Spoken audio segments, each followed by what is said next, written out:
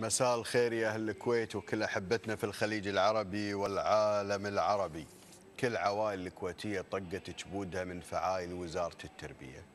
كل يوم حاطين قرار وكل يوم حاطين رأي وآخر شيء يطلعون لنا بمصيبة المعدل الوزني وحسبة معقدة حتى نشتاء ما يقدر يحلها.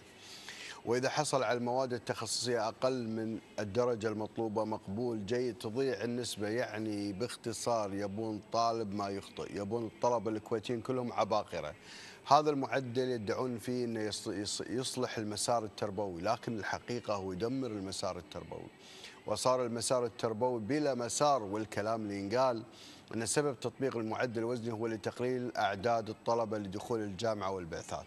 وأقولها بكل أمانة وأقولها لوزير التربية الدكتور بدر العيسى. يا دكتور إن سبب البلاء والدمار هم بعض القياديين في وزارة التربية والمخلصين الحقيقيين وتلقى الإجابة الحقيقية عند مدراء المدارس والموجهين. ولا يتم السماع لكلامهم ولا لنصائحهم. لكن الاداريين في وزارة التربية ما يدعون إنهم يفهمون هم من سبب سببوا ضياع التعليم في الكويت. لذلك نطالب معالي وزير التربية بإلغاء قرار المعدل الوزني لأنه معدل تخريبي يدمر طموح عيالنا ومستقبلهم. وسوف يحمل الاهالي مبالغ ضخمة لتدريس عيالنا في الجامعات الخاصة.